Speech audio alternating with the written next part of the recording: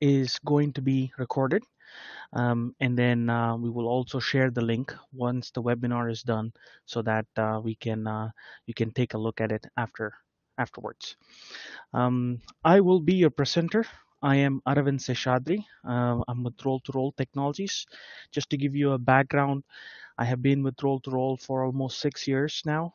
And before that, I was at uh, Oklahoma State University. I got my PhD in uh, mechanical and aerospace engineering, uh, specializing in uh, dynamics and control of roll to roll machines. So, topics such as web guiding, um, tension control, registration, or some of the things that are I'm familiar with. Um, as we go along in this presentation, we'll also have some polls or some questions so that we get to know a little bit more about you and what are some of the problems, and hopefully we can uh, take advantage of that and um, uh, guide the presentation along the way. Once again, we're about ready to start the webinar. Um, and uh, as part of that, uh, let me just uh, give you a, a quick poll. Uh, if you can answer that really quick in the next minute or so, uh, that will help me in terms of uh, some of the topics that will be covered today. Uh, and we can look at um, um, how we can uh, tailor that to the audience. So basically, we just wanted to know a little bit more about your knowledge about uh, web guiding. Um, there are some people who might have no knowledge about web guiding. There are some who might just know what a web guide is, how it works, or some of them are well versed in being a designer. They can design web guides uh, or design web guides into their machines, or uh, some of them could be even experts that are called upon whenever you have any issues with web guiding in your operation. So I'll give a, just a quick uh, uh, minute uh, or 30 seconds to make sure that everybody had a chance to um, answer this question.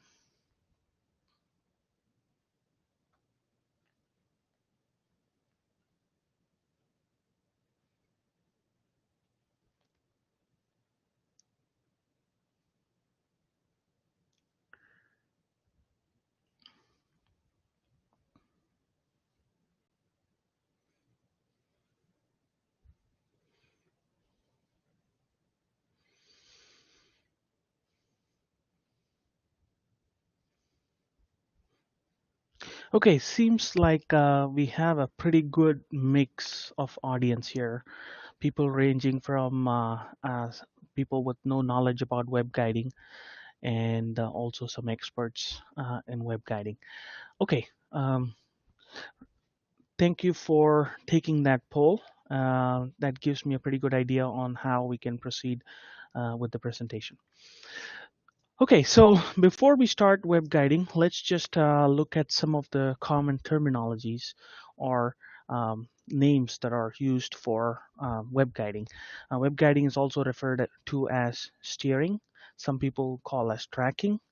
Uh, depending upon whether we are guiding the edge of the web or a feature on the web, it might be called as edge guiding, line guiding, contrast guiding. Uh, more technical term would be like lateral control or lateral registration. These are some common terms that uh, are used in the academia uh, when we are talking about guiding. Uh, sometimes it's also called as CD registration. CD, where CD stands for cross machine direction um, registration, and then lateral alignment. And if you're um, from uh, eastern part of the world uh, in Asia, uh, it's commonly referred to as EPC or edge position control or line position control.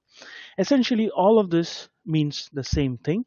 That is, uh, guiding or a web guide uh, is used to position the um, web at the desired cross machine direction. And it is uh, done so that we can enable efficient transport. If the web is not guided, then we have issues uh, with the web crashing into the machine, quality issues, waste, and things like that. So why do we need web guiding? Well, there are main, mainly four uh, reasons why we need web guiding. Uh, first and foremost is that materials are not perfect. Uh, you might have a poorly wound roll uh, that uh, is not wound properly or deliberately wound roll uh, with an oscillation on it. And when we are trying to feed it into your roll to roll machine, um, you, you need to guide it so that it aligns with your process. Uh, some materials may have uh, thickness variation. Uh, this could be like gauge band variation either during coating or uh, forming processes, uh, especially with paper mills. Um, different gauge papers may track differently or um, slide differently. Uh, splices, whenever you have uh, change from one roll to another, when you are joining two rolls of web, uh, it might be a step change or it might also be like an angular misalignment of the splice. And then some materials have a natural curvature to them, which is called as camber. So the material properties, when the materials are not perfect, that's going to have uh, the web mistrack in your machine. Uh, it could also be due to uh, machine itself. So either you have machines with out of round rollers, um, like a crown or a concave or a convex roller. Whenever you have a variation in the diameter of the roller, uh, that's a problem. Or the rollers are not aligned properly with respect to each other that could also cause uh, the webs to mistrack. You might also have um, tension control issues. Uh, if you don't have enough tension, you don't have traction, then uh, that's going to be an issue. And uh, whenever you have acceleration or deceleration, that might also cause uh, the web to mistrack. It could also be due to processes. Uh, for example, if you have a coating process and you have uneven coating uh, across the width of the web. Uh, that's going to cause issues with tracking. And also some processes where uh, you could have um, air entrained between the web and the roller uh, that would cause the web to uh, lose traction and mistrack. So that could also be an issue, and uh, that's why we, we need web guiding. Finally, operators, uh, mainly when they are splicing the web or when they are putting a new parent roll into their roll-to-roll machine, they may not center it or they may not put it at the right location. That might also cause an issue, uh, and that might need web guiding. So web guides are necessary uh, at uh, different locations of the machine um, because you might need alignment at different parts of the machine. Um, so um, that's that's the main uh, thing with web guiding is you have to put a web guide in front of any process that requires web alignment. Just to give you an example, uh, let's say you are laminating something and um, you have two um, layers of web coming in to this lamination process. Uh, at this point, you would need a web guide so that you can align this layer and this layer with respect to each other. Um, the guides that are used within the machine are called as intermediate guides or they are intermediate to the machine and the guides that are used at the entry and exit of the machines are called as terminal guides. So we're going to look at all of these in detail, um, but that gives you an idea of why we need web guides and where we need web guides. Uh, in terms of the location, uh, as I mentioned, um, when you have a web guide that um, um uh, that is located at the entry and exit of the machine. They are called as terminal web guides. Uh, there are lots of names for these, and uh, some of the common names are uh, shifting stand, a shifting base, a shifting side lay, or roll positioning stands. If you're in the metals industry, it might be uncoil or recoil. And uh, in other industries, it might be called payoff and tension reel. And specifically in these presentations and in our terminologies, we call them as unwind and rewind guide. Uh, an unwind guide is something that is at the uh, entry of your roll-to-roll machine, uh, while a rewind guide is at the winder or the exit of a roll-to-roll machine. Uh, so these are some of the terms that are used for terminal guides. And in terms of intermediate guides, uh, these are the web guides that are used within the process, within the machine. Uh, there are certainly multiple types of these web guides. and um, the most common one is uh, what is called as an offset pivot guide. Other names for offset pivot guides are displacement guides, positive displacement guide, pivot frame, or a table guide.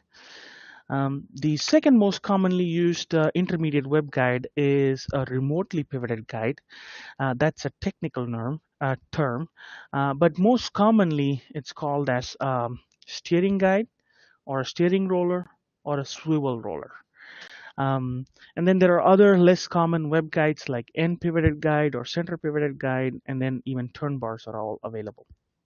We'll, we'll take a little bit deeper look at all of these different kinds uh, as we go along in this presentation. But um, most of these web guides work on a basic fundamental principle, and that is what we call it as normal entry. So um, what does normal entry say? Normal entry is basically uh, is a web approaching a roller will always align itself perpendicular to the axis of rotation of the roller. As you see in this uh, video right here, let me restart that.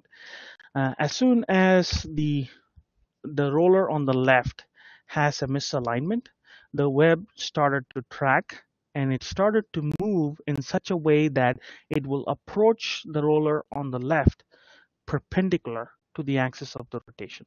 This is the fundamental principle that is used in most of the intermediate web guides that we are going to see.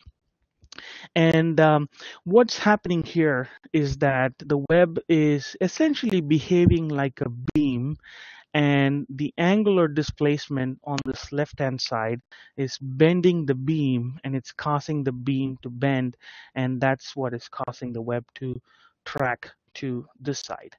Um, there are lots of dynamics involved in this uh, process, how fast the web uh, moves, how much does it move. All of those depends upon the uh, transport conditions, the uh, what type of web it is, what kind of traction you have, and things like that.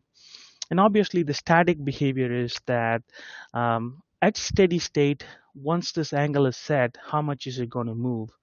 Uh, are we going to see uh, any movement on this side? um, as you can notice that when this web moved the upstream roller the web was still there uh, it was maintaining there because it was able to have enough traction so that the lateral forces or the moment that is acting there uh, was not able to make the web move um, and whenever we have a, a motion like this um, bending occurs. Bending in term means that there are stresses developed in the web. So you're going to have a, a tight side and a slack side, and there's going to be a tension profile here. So these are important uh, to understand uh, for us in order to have a successful um, web guiding application or execution of a web guide. Um, so in terms of a basic web guiding system, um, we are mainly dealing with uh, four main items. Apart from the web, we're mainly dealing with four main items. Uh, one is the guide structure or the mechanism. Uh, this is the device that is actually making contact with the web and uh, that's the one that is need to be moved or it moves the web um, and there are different types of guide structures that we will go through. Uh, the other component of a web guiding system is an actuator. So actuator is something that takes uh, an electrical signal and then um, it uh, converts that into physical motion uh, so that it moves the guide structure so that the web can be located at the desired location. Uh, the third and one of the most important components of a web guiding system is a sensor. Uh, the sensor is the device that provides the feedback. Uh, the sensor is the one that tells us uh, where the web is. Uh, uh, where means it's inferring the position. And then finally, that signal is sent to a controller. And the controller is ma mainly the intelligence or the brains um, that um, uh, that uh, takes that sensor signal and computes the corrective action that is required so that the actuator can move the guide mechanism to the, the location where we can uh, get the desired web position. Again, uh, another schematic of how um, the components of the web guides are. So web is a part of the web guiding system. Um, and then you have the mechanism. There's an actuator inside the mechanism. Uh, the sensor gets the position feedback of where the web is, sends that information to the controller. Controller then computes an error and it sends the command to the actuator so that the mechanism can be moved to position the web at the right location. So this is a closed loop feedback control system that uh, is a main part of a web guiding system. So uh, let's dive into detail about different components of the web guide. Uh, first, we'll start off with guide structures and look at how guide structures are with uh, different types of web guides that we saw. So first and foremost, we have the unwind uh, web guide structure. In this case, you have a parent roll and that is feeding the web into your machine. And this roll um, is on a shifting stand or a base um, that is supported by typically uh, linear bearings. Um, and then there's an actuator there that connects the moving stand with the fixed base. And then there's a sensor here that is looking at the uh, position of the web. So the main objective of an unwind web guide is to ensure that the web that is fed into the process is at the desired location. And because of that, you have a fixed um, sensor that is fixed to a machine frame. And then this stand actually moves in and out of the monitor um, that we have here. It's going to go in and out. And um, uh, the uh, the feedback from the sensor is used to make this unwind guide move in and out so that it can position at the right location. One thing I wanted to point out is that the, there is a uh, shifting idler. When I say shifting idler, it means that this idler is attached to this moving base. Uh, the main reason why we do that is that if we put a sensor right here, um, it is not an ideal location um, just because of the fact that when the diameter of this roller changes, you're going to have the web plane go in and out and if that happens that's going to affect your guiding. So typically you would see a shifting idler. Uh, it doesn't have to be one. It can be multiple. Uh, it could also be a whole frame with a lot of rollers here. All that we need to do is that we need to put the sensor just downstream of the last shifting idler and then the sensor is fixed to the machine frame so that we can guide the web so those are the main things with an unwind uh, guide. Now, uh, when we look at rewind guide, rewind, um, even though we call it as a guiding, it's not actually guiding the web, it's actually chasing the web. Um, so the, the, the main thing that is uh, unique about this is that in a rewind system, you have a sensor that is attached to the rewind frame um, all of the things in, in, terms of the carriage, it's exactly the same. Uh, you have a sensor that is attached to the rewind uh, stand so that when the rewind moves, the sensor also moves.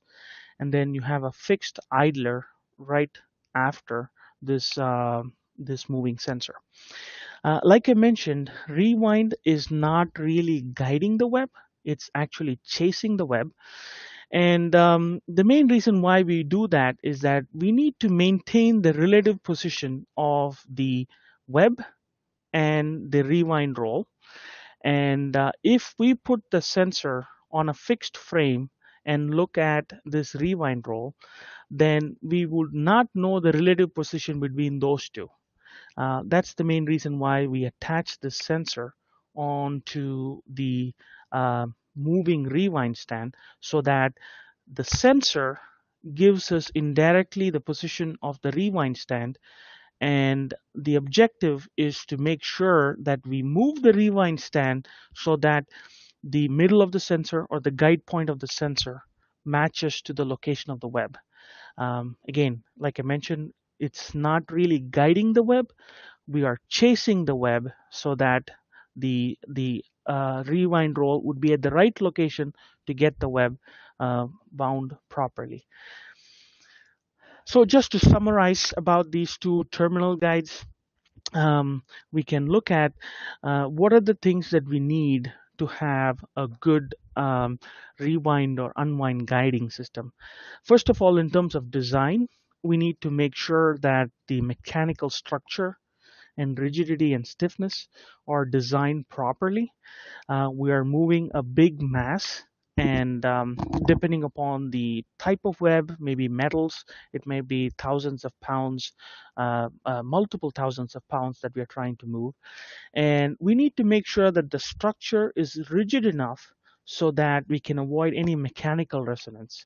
So the natural frequency of the structure should be at least three to four times the um, operating frequency of the control system um, the other thing we need to consider, uh, especially with these kind of uh, guides, is that we need to size the actuator properly. Uh, when we talk about sizing the actuator, what we are talking about is it should have enough thrust so that it can push the mass, it has enough thrust to overcome the static friction, and it also has enough um, thrust to provide the desired acceleration to uh, reject the disturbances or errors that may be there. Um, just like the mechanical structure rigidity, we need to also make sure that the actuator coupling uh, and the actuator stiffness are all uh, accounted for. Uh, any play in the actuator coupling is going to reduce the stiffness of the overall system. That's going to destabilize your system. In terms of installation consideration, the main thing that we want to look for in these type of guides is the location of the sensor with respect to the moving stand. Either it's fixed to the machine frame or it's moving with the machine, uh, with the uh, uh, carriage. That's the main thing. Um, these web guides are simple. That's one of the advantages of these web guides. And uh, these web guides really do not um, uh, have to take advantage of the normal entry rule because all the rollers there are parallel to each other so there's not going to be any misalignment in them. So there's going to be less amount of stresses on the web. Uh, the disadvantages with these kind of web guides well first of all you need a, a high thrust actuator especially when you have uh, larger mass to move and it's not cost effective uh, if you really want good performance from a web guide. Uh, if you want to uh, reject a high frequency disturbance, then this might not be a good choice for us. Now, moving over to intermediate web guides, uh, we have a displacement web guide. Um, uh, this is uh, another type of one of the most commonly used web guide that you're going to see, and we would recommend this as the first choice for any web guiding application. Um, one of the main reasons for that is it actually displaces the web. And um, uh, in this web guide um, it's uh, it's not bending the web. Uh, the reason why it's not bending the web is um, you have um, this entry span and you have a 90 degree wrap and then you have the plane of the carriage right here when this carriage pivots, uh, the pivot point is shown here, but that's a mistake. It should have been right at the edge of right here. So when, when this carriage rotates, pivots uh, about the pivot point, which is at this point right there, um, these two rollers are actually moving in tandem. Uh, so there's no bending in this region. Um, and then in these spans, since they are perpendicular, that motion is a pure twist. So really, there is no bending uh, in this kind of a web guide. And um, if the web guide is designed properly, then um, these web guides can have one-to-one uh, ratio in the sense that if you move the web guide one unit, then the web will actually move one unit. So that's why we we call them as a perfect web guide. And I do see a question here that says that would you agree that an offset pivot guide acts on a different principle other than normal entry? That is correct. Um, uh, just like I explained, because these two rollers are parallel to each other, there is no bending in the span. And since these two uh, entry and exit rollers are perpendicular or the wrap angle uh, are perpendicular, this span is perpendicular to the plane of motion of the web guide, they are going to be in twist. So there's no bending, and when there's no bending, there's no normal entry coming into picture there. Um, so like I mentioned, um, the twist is an important design part, and um, and um, this would be our first choice for us in terms of uh, applying it uh, in any um, web web guiding situation. So in terms of installation, um, again, we want to make sure that we have a 90 degree wrap at the entry and exit of the roller. And then there are some considerations on how what is the span length at the entry and exit. So usually you can get away with uh, half a web width. Um, usually we recommend about one to two web widths if possible. And if you have a stiffer web like metals, like uh, you might need a much longer um, entry and exit span. Uh, we want to locate the sensor as close as possible. This is true for any web guide. It doesn't matter if it's a displacement guide, unwind guide, rewind guide, any web guide. We want to have the sensor as close as possible uh, in the span where the guiding action takes place. Um, and then in this case, the recommendation is to be within the first half of the uh, exit span. And then how long this span really depends upon how much correction you're looking for. Um, typically, these carriages are allowed to pivot only about 5 to 10 degrees. So if you want um, larger correction, then you can make these spans longer. Uh, the main thing is that you need to make sure that the plane of motion of the uh, uh, carriage is perpendicular to the entry and exit span so that you can create a pure twist on these spans. And then as long as these rollers are moving in tandem um, or parallel to each other, uh, then we will have the desired effect. Uh, they don't have to be on the same carriage. Uh, they can be on different carriages as long as we are able to move, have them parallel to each other. Uh, you can even have a process here you don't really have to have just two rollers you can have multiple rollers. So it, it provides a lot of flexibility here. And um, and and and the guiding action is actually happening in the exit span.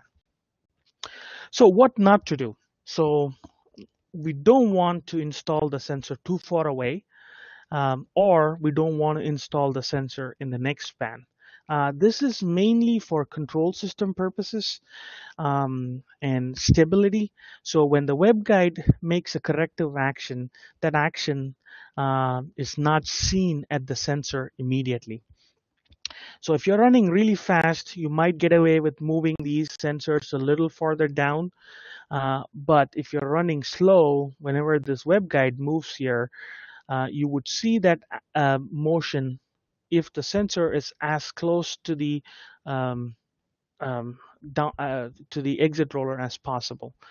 Um, if you install it here or here, especially when the web stops and there is a small error, the web guide would keep moving and that might cause the web to break or uh, have unintended consequences.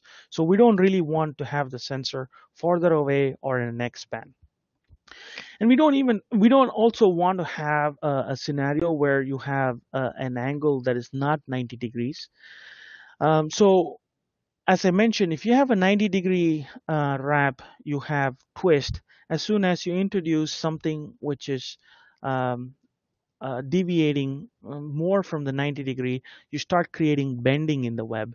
So these kind of bending is going to act as um, understeering the web. Uh, it's going to cause bending that's going to understeer the web. Um, and it also causes uh, distortions and guide instability. So we don't really want to have any of these conditions. On the contrary, if you have a span, uh, exit span that is uh, spread out like this, uh, this is going to oversteer the web. Uh, again, it's the bending effect that is causing that, and we really don't want to do that. So ideal scenario would be to have a 90 degree wrap in and out. Uh, but there are other options uh, for um, wrapping the web there. Uh, you don't have to have it just like this, what like how we showed, it's an inverted U configuration. You can have the web going like this or like this, like a um, Z configuration, depending upon the space and all those things. And obviously, you can rotate all of these 90 degrees upside down, just rotate all of them. Uh, so you would have about 16 different configurations that uh, you can do uh, with these web guides. Uh, all in all, need to make sure that the entry and exit span are perpendicular to the plane of motion of the web guide. Uh, all of these conditions satisfy that. Have the sensor as close to the web guide as possible. We can satisfy that, and then you can have multiple configurations for these. So in summary, the displacement guide, the main design consideration uh, when when uh, somebody is asked to design a web guide, uh, displacement guide is what is the desired correction. Uh, that that kind of determines our uh, span length uh, for the guide span. Other than that, in in terms of installation, it really depends upon how much space you have. So you can design the entry and the exit span. And then if you have a stiffer web you, you might have to exaggerate that entry and exit span make sure that we have 90 degree wrap and then uh, wrap the web guide based on the path. So one of the other paths would be uh, in the same direction the web came in and things like that. Uh, advantages these are simple to install. Uh, the proper installation imparts the least amount of stress on the web, and then uh, it's pretty versatile. Uh, I put a disadvantage there, but it's really not a disadvantage. But I, I do want to have um, um, I do want to have that uh, here. It's like the the maximum correction that you can get is designed in. So uh, in in a, in another type of web guide where we can take advantage of steering um, or, or bending, uh, we can get more than what the guide moves. So um, the second choice for us would be a steering guide. And uh, in in in terms of how it works, it's a little bit different. You got a single roller. Uh, this is the top view, and this is kind of the side view. And um, this roller is installed on two raceways. They are at an angle, so the web guide actually forms an arc like that. So it moves and forms an arc back and forth. Um, uh, that's that's the um, that's how we are changing the axis of rotation. And in this web guide, we are creating a bending. So there's a bending action here. It's displacing as well as bending. Um, and then in terms of uh, the entry and the exit span, there are some guidelines for that as well, and we'll go through that. Um, this is not an ideal choice for us, uh, or this is not our first choice, because um, as I said, it's bending, so it's in introducing stress. If it's not installed properly, it can cause wrinkles, creasing, web tear, and edge uh, quality, uh, edge stresses, and things like that. Um, so I just wanted to stop uh, quickly and answer a couple of questions. How do we determine the minimum entry and exit span? Uh, that really depends upon your stiffness of the web and things like that, the average stress. Uh, there is a guidelines for that that I can share later on. Uh, but it really depends upon the tension, the Young's modulus of the web, and then uh, the width of the web, and then the span length. So there is a formula where we can get the minimum uh, entry and exit span lengths. And the entry and exit span need not be the same length. They can have different lengths. Also, how do you determine the correct length of the displace, displacement guide table? Oh, the guide table length is basically based on how much correction that you need.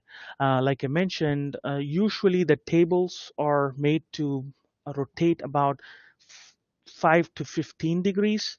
So, um, so the displacement that you need would be, let's say, L is the length of the span on the guide table, uh, and theta would be the angle of displacement. The correction would be L sine theta. theta. So that is the maximum correction you can get. So based on what maximum correction you need, uh, you can uh, get the length of the uh, the guides uh, uh, yeah the guide span on a displacement guide. And theta is the upper limit we can say 15 degrees.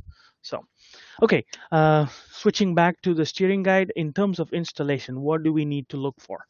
Well we need to make sure that the exit span is perpendicular to the plane of motion of the web guide so uh, again the main thing that we are trying to do with this is to make sure that the exit span is in pure twist. Um, this is where the uh, uh, uh, this allows us to have the least amount of stress in the web. So we want to do that. Now the entry and the exit span uh, um, length of that is also depending upon the stiffness of the web you typically need a longer entry span uh, for a rewind guide because the uh, the, the the motion of the web guide or the displacement of the web happens because of bending. Um, so you have to follow um, uh, those guidelines in terms of if you have a stiffer web, you need to have a longer span so that you can allow the bending to happen. But normally it's about one to five times the width of the web. And then the exit span can be half a web width. Uh, and there's also minimum uh, formula for finding out the minimum um, span length there. Um, in terms of uh, other things here, uh, let me go back here and talk a little bit about the instant center. Like I mentioned, there's a raceway, uh, two raceways here, and they are angled so that you can have the web guide uh, go around an arc. And the center of the arc is called the instant center. This is important. We need to make sure that the instant center is within the span and it's at a certain distance, about half the length of the span or up to two-thirds the length of the span. Again, these are all numbers coming from the dynamic model of the web guide and the the, the dynamics of the uh, uh, web itself. And if you don't follow those conditions, then you can have a web guide oversteering, understeering, creating uh, uh, an awful lot of stresses, maybe wrinkles, slack edges, tight edges, and all those kind of things. So, but uh, the main things that we want to look for is this angle. Uh, make sure that it's 90 degrees, and then you have an entry span that is pretty long. You can have different wrap here. Um, we don't want to go more than 45 degrees on either side. Uh, that is fine. Uh, when you do that, what you're doing is you're adding uh, twisting uh, per se. So whenever it goes away from this uh, 90 degrees, it's not pure bending. There is bending and twisting that is involved there. And then we want to have uh, an angle here because again, when you put bending stresses here, you have the possibility of that uh, what we call as moment transfer occur here. So the motion of this roller can actually move the web uh, upstream of the uh, guide roller. So in order to avoid that, we want to have certain conditions here. And then we also want the span shorter so that it becomes harder for that moment transfer to occur. So those are some of the uh, guidelines for installation of a steering guide and again sensor as close as possible. Now what not to do, same thing. We don't want to put the sensor too far away.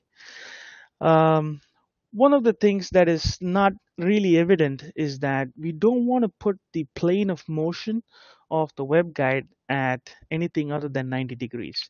It's not this angle between the entry and the exit span that needs to be 90 degrees. It's actually the angle of the plane of motion of the web guide and the exit roller. That's what determines whether you're going to have a twisting action that's going to happen here or not. So when you when you have something like that, you're going to introduce bending in the span, and when you start bending a short span, uh, it's not a good sign. So we don't really want to do that. So that's the main reason why we need to have the plane of motion perpendicular. Not really the entry and the exit span, but the plane of motion. And then, like I mentioned, if you have the entry span and the pre-entry span longer than the entry span, then you could have moment transfer happening. Uh, that's something that you don't want to do either. In terms of wrap angles, uh, uh, pretty simple. You can have something going up like that or going down like that. As long as we follow this condition, that exit span is perpendicular to the plane of motion, then we are in good shape. Uh, just to summarize the design consideration, um, um, design correction is one of the main things there. Uh, and the raceways that we have on the steering guides, we don't want to angle them more than 25 degrees. Um, so anywhere between z um, like 5 to 20 degrees would be the ideal one. In, in terms of installation, um, steering guide is a lot more complicated to install. Uh, you have to consider the stiffness of the web that determines the entry span length. Um, and then you also need to make sure that you're not putting too much uh, bending stress on the web based on how stiff your web is. And then uh, the location of the instant center, uh, which depends upon the raceway angles. Uh, again, that depends upon the length of the entry span. So there are lots of things going on here that uh, we need to consider for proper installation of a steering guide. And uh, that's one of the reasons why uh, these web guides are prone to have a lot of issues because they're not properly installed. In terms of advantages, they're they're simple, so they're cost effective. It's just a single roller. Um, so it's it's it's inexpensive, but it comes with other things that uh, increase the overall cost of ownership. Um, it's hard to install. A lot of attention to detail is required, and a lot of these have, um, especially because of the bending and things like that, uh, loss of traction or anything like a moment transfer occurring, can actually amplify the error. Uh, so a poorly installed or poorly um, uh, designed steering guide can actually uh, produce error, more amplify the error than uh, um, than what it's intended to do. Uh, there are a few other types of web guides um, that are not used uh, commonly, but um, they are center pivoted guide. Again, they are going to use the uh, uh, normal entry rule to try to um, um steer or, or, guide the web. Um, so there's bending that's going to happen. So we're going to have similar considerations in terms of entry span, pre-entry span, and exiting span. Um, because they don't have any displacement uh, like in a steering guide you displace and change the angle of rotation uh, in these guides it's only the angle of rotation they are usually really slow in terms of response they're not an ideal choice uh, in in modern uh, guiding principles but uh, the same design considerations have to be followed with as in a steering guide um, so that kind of gives us a quick summary about different web guides and uh, how to install them and things like that. So the next uh, part of uh, web guiding is the actuators. So uh, in terms of actuators, there are lots of terminology that is involved.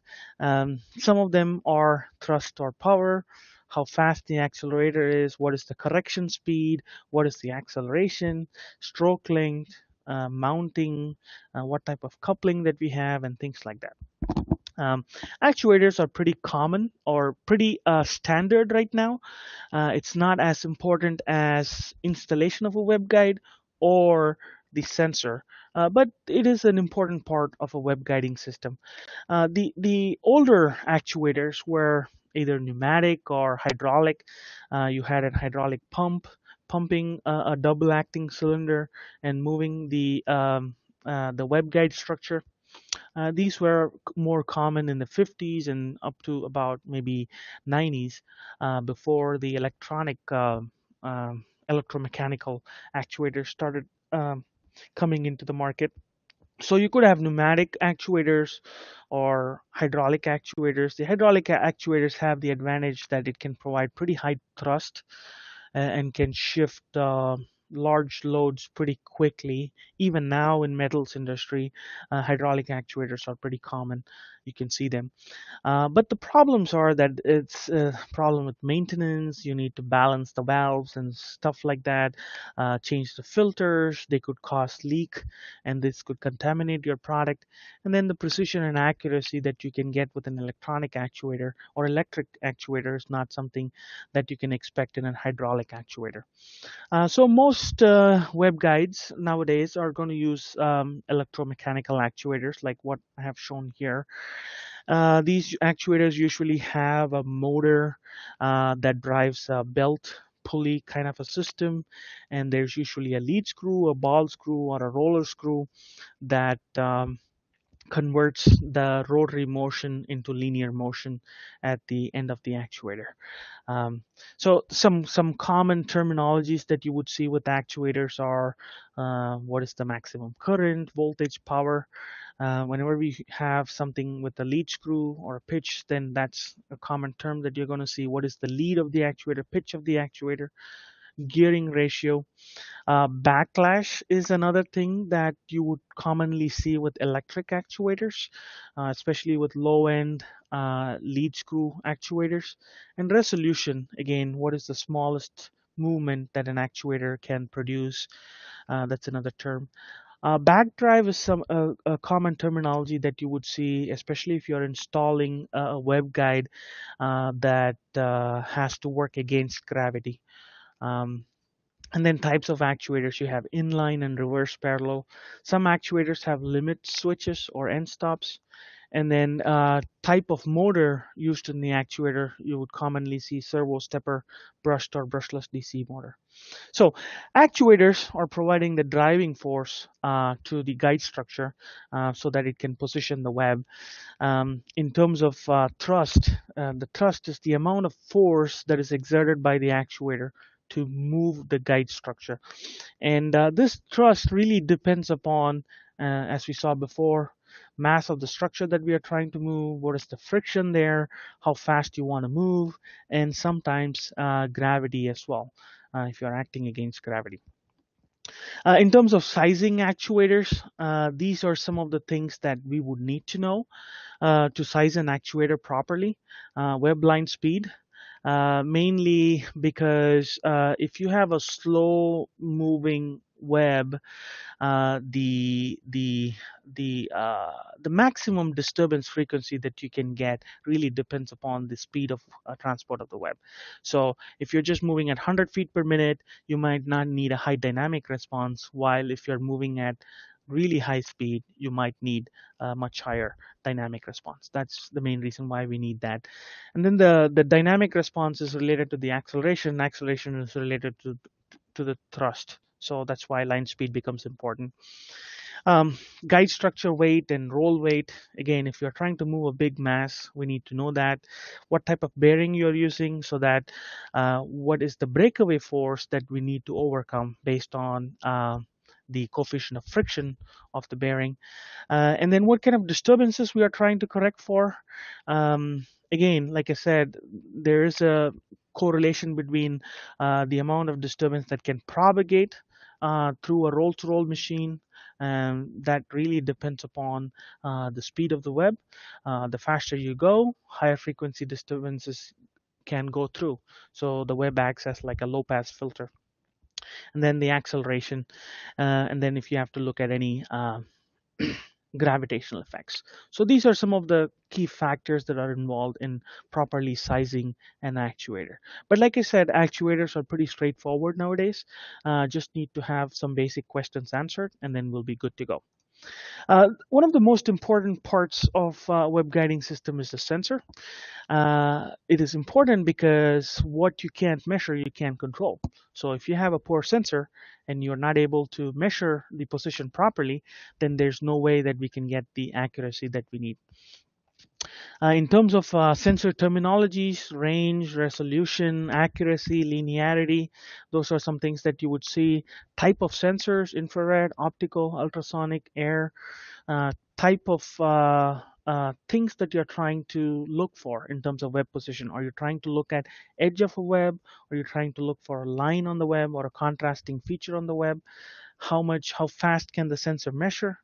Um, and then um, pass line and plane change. These are not important nowadays, but older ultrasonic sensors uh, have issues with uh, pass line changes. So you can't have the web too close to the ultrasonic emitter because it might reflect the sound waves uh, uh, uh in a way that uh, doesn't provide an accurate measurement. And then temperature drift, again, ultrasonic sensors can have issues with temperature drift when we have um, um, the, the piezoelectric crystal frequency changes, and then what kind of a signal output that you get from the sensor. Uh, that's some of the terminologies. So essentially, range of a sensor is what is the maximum lateral displacement that the sensor can measure. Uh, most often for web guiding applications, range is not that important just because of the fact that you're controlling, you're going to bring it in. Uh, but it does become uh, uh, critical when you have web width changes and things like that. So um, most often, uh, range is like how much change in the lateral uh, position that you can measure with the sensor. Uh, resolution is the minimum lateral position change that the sensor can see.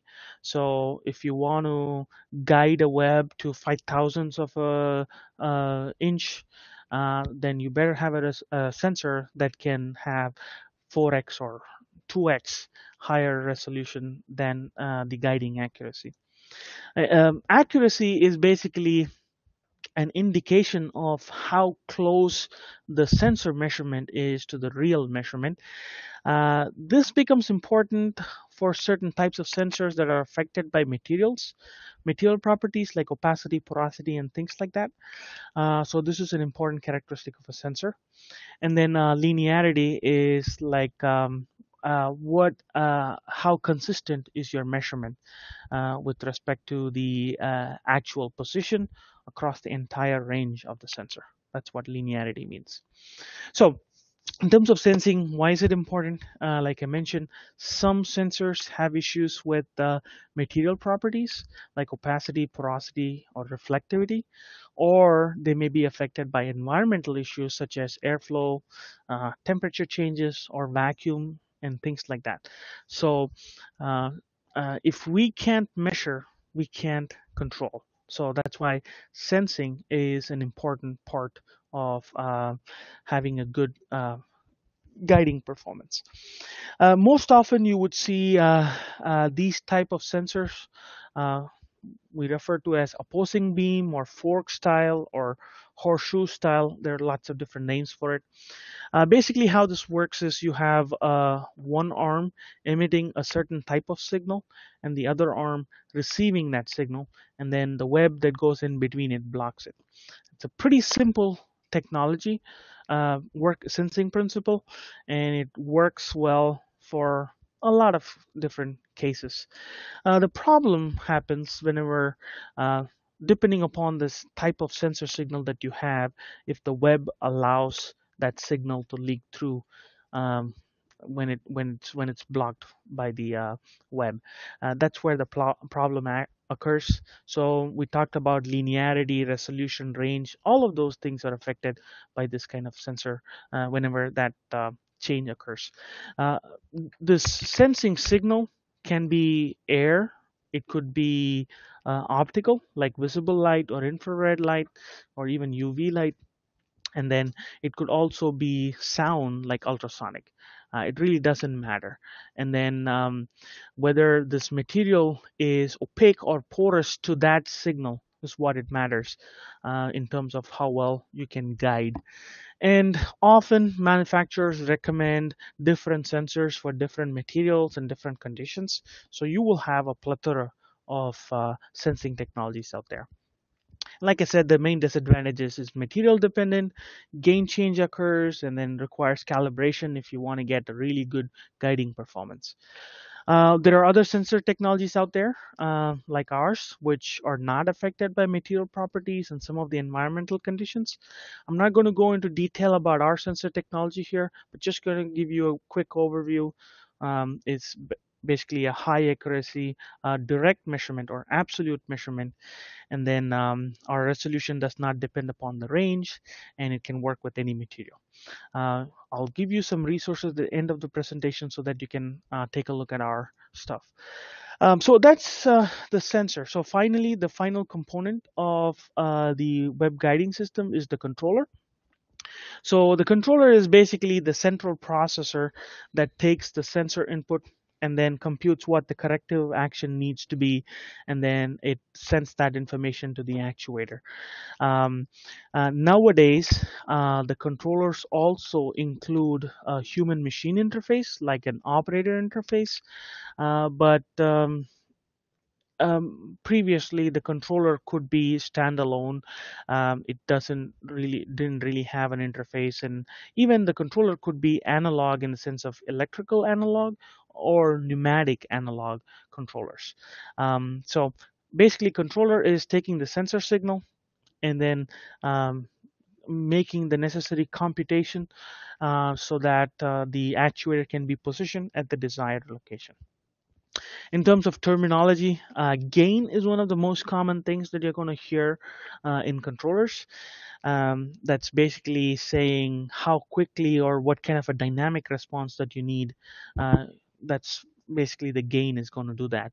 Other things that you're going to see is operating voltage, power consumption, whether you have a operator interface or not, and then uh, whether this is a controller for a servo motor or stepper motor or whatever that is they have drives or drivers for it how many sensor inputs you have uh, does it have ethernet connectivity does it have remote control and stuff like that in terms of the control structure uh, most control systems have um, guide control systems have this kind of a structure where you have a fixed gain proportional control uh, you really don't need anything more than a proportional control for a web guide uh, because there is integrator built into it.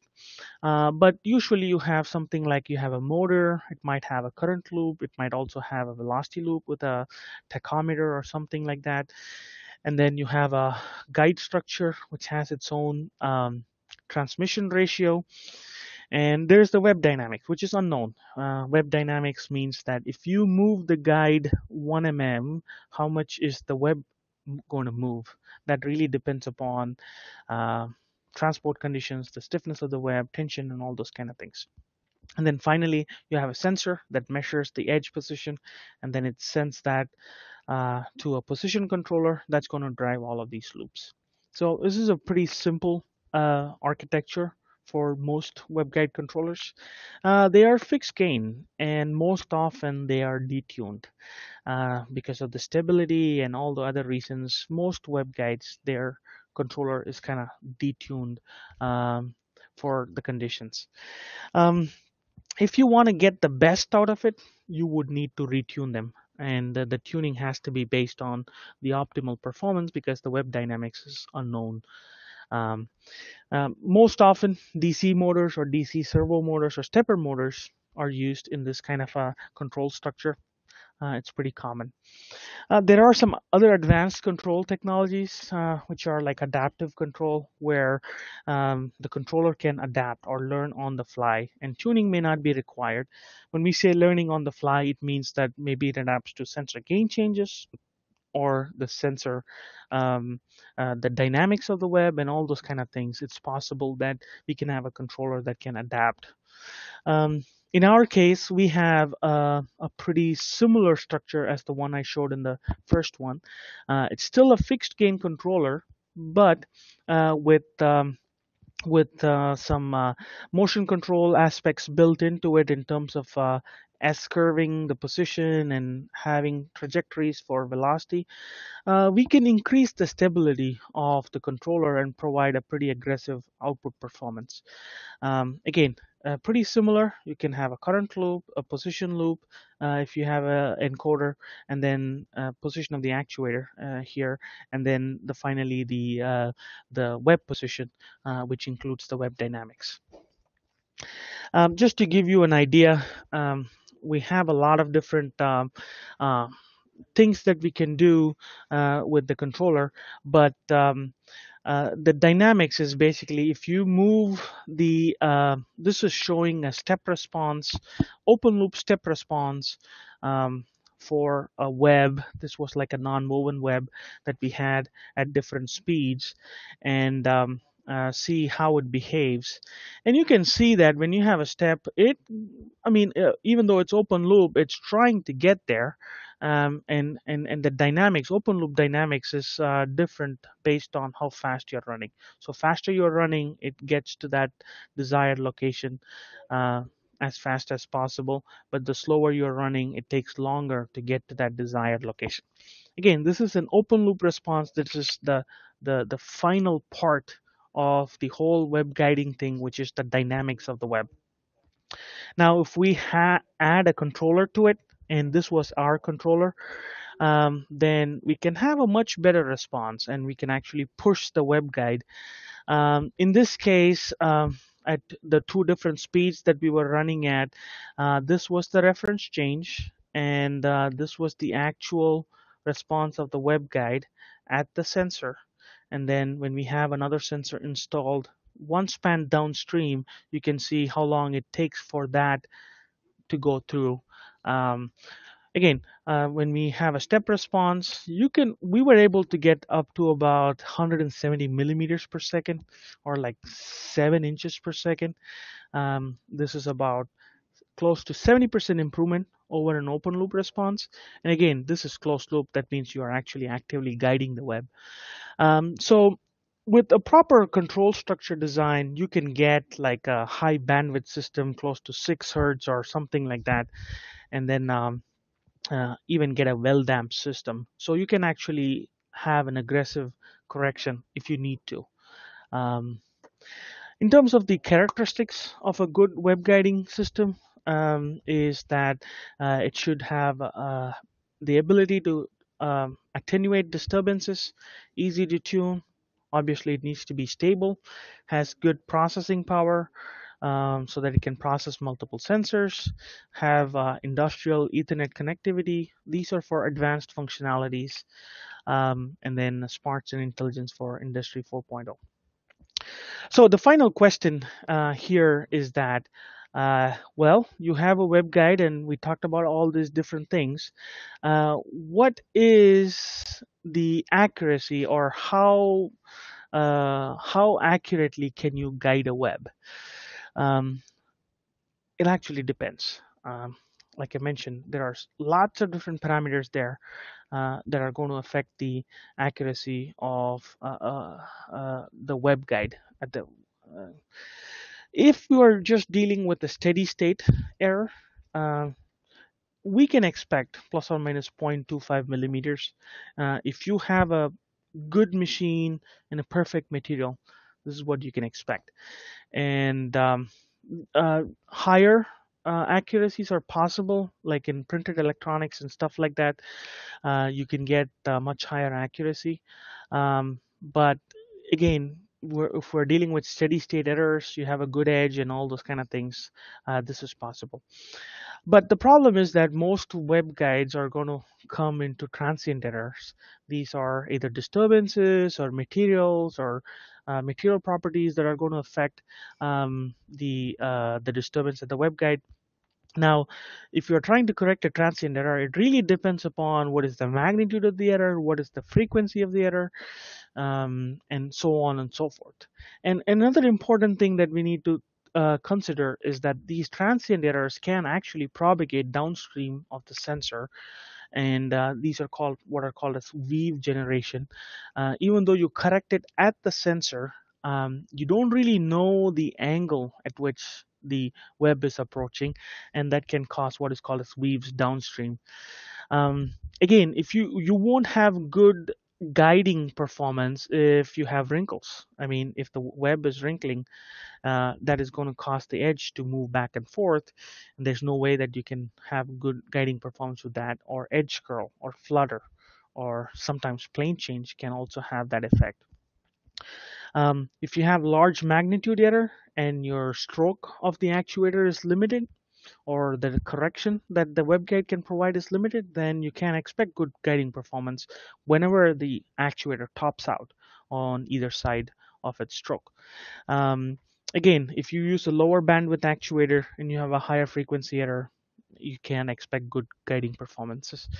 And uh, sensor, if you don't have a good sensor or if it has gain changes, then you can expect uh, good guiding performance.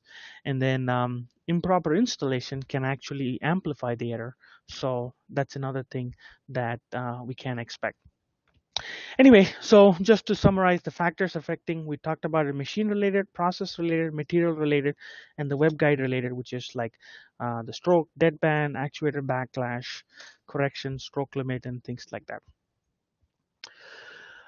So in terms of uh, design requirement, uh, a good knowledge of uh, the uh, the the conditions like web speed, location, thickness, stiffness, environment, tension, uh, desired correction. All of these are important for us to have a good, uh, well-designed web guide. And then um, obviously, if you have a good understanding of all of these, we will do well. I know we're running out of time. This is my last slide and I just wanted to bring this up to summarize it. Um, just to summarize our fundamentals of web guiding, well, webs, machines, process, nothing is going to be perfect. So we do mostly we need web guides to co- correct for it. Uh, most of the web guiding um, or the the traction or the steering of the web happens because of the normal entry rule. So whenever you have a misaligned roller or an out of round roller all of those things are going to affect uh, uh, the the the disturbance created within the machine. Uh, the sensors when you're installing it on a web guide we need to be installed as close as possible to the web guide and then the web guide has to be located as close to the process that needs alignment. Uh, we cannot have an unwind and have a guide on the unwind and then have 10 spans later you have a process where you need the where you need the alignment. Uh, we need to have the web guide right next to the process where the alignment is needed. Uh, none of these action of the web guide uh, will have any effect if we don't have traction uh, traction is indirectly related to tension so if you don't have good tension or traction between the web and the roller uh, you cannot expect good guiding performance.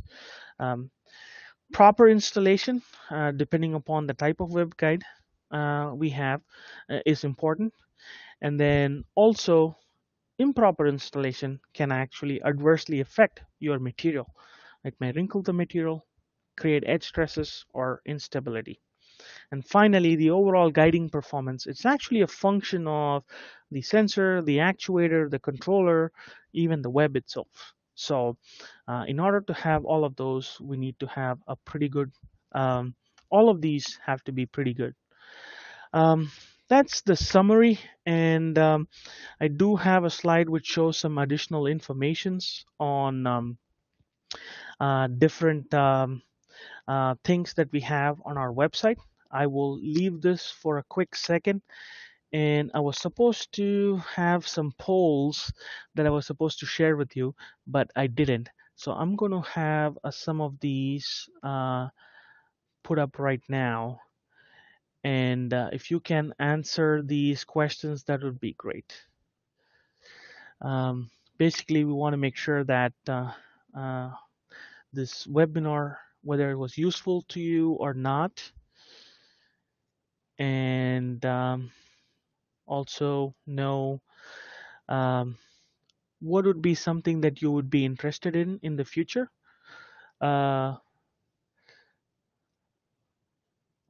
and what are some of the biggest problems that you see in your operation?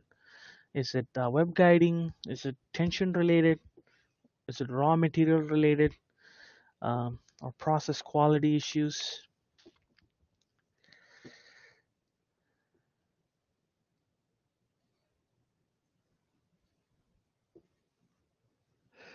Okay, so while I have these polls on, uh, let's see if I have anything that I have missed in the Q&A. Okay, so there was a question about why would you want a deliberately oscillated roll? Well, uh, there are some times where um, you have gauge band variation. That means the thickness of the web across the width of the web is different. Uh, this is especially true when you're folding the web or like in shrink sleeve applications. And if you guide the web at the same location, um, um, the gauge band variation is going to have different uh, stresses on the wound roll. Um, so the hardness of the roll along the width of the web would be different, um, and and that causes problems uh, in terms of telescoping and uh, when you transport the rolls and things like that. It might have some issues. So what they do is they deliberately move the web guide back and forth um, so that the uh, uh, the thickness variation is evenly spread across the entire width of the roll. So that's why you want to deliberately oscillate the roll back and forth. Uh, these are only when when your converting process um, has an intended uh, thickness difference, like when you are sealing uh, or cl- closing and sealing a web guide. Um, there's a question about uh, master slave application. What is that, and could you give an example? Okay, so whenever you have a, a lamination process, uh, you have uh, one layer of the web that you need to laminate with respect to another layer of the web. Uh, that's when it would be important to have a master slave. So one layer of the web can be guided to a location, and then the other uh, layer of the web, its uh, reference or the guide point would be dynamically adjusted so that you can match those two webs together. It can also be done if both these web guides are um, uh, guided to the same uh, machine reference. Uh, but usually that's a problem because when you're moving the sensor, you don't know if you put them exactly at the same machine reference. So in that case, you would have one web as a master, and then the slave uh, web guide will have its guide point uh, changed based on the um, based on the master position. Okay, so uh, let's see. Um, got another poll here. Uh, what are your biggest challenges with web guides? Uh, is it the lack of performance? Is it the complexity of setting them up? Uh, or doesn't have enough features? Uh, what is the biggest challenge for that for you?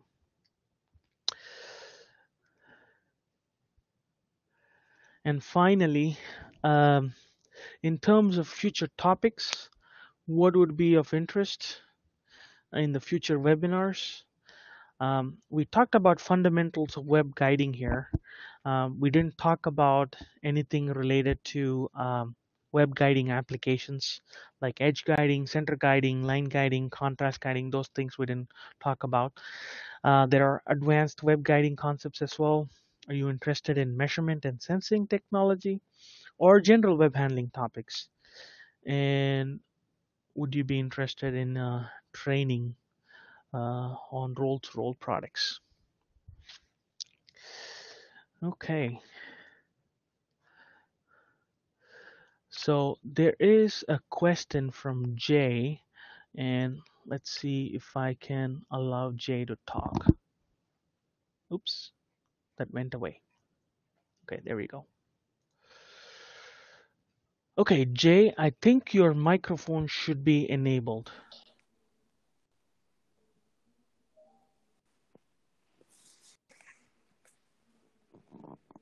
Jay, did you have a question?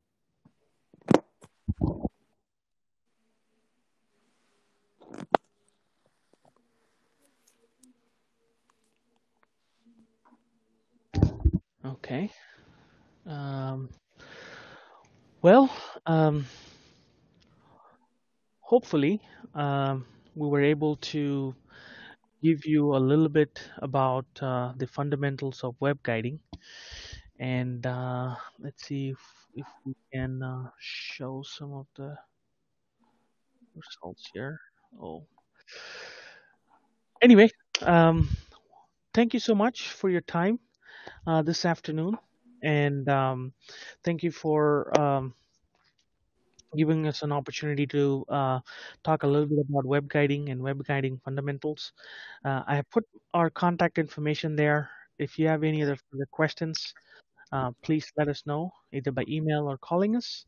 Then uh, we have this webinar recorded, and uh, what we could do is uh, we will share uh, the video of the webinar uh, in a follow-up email.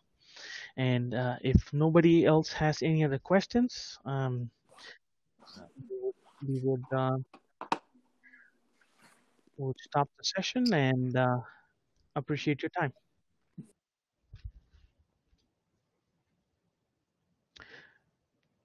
Thank you, everyone. Have a good day.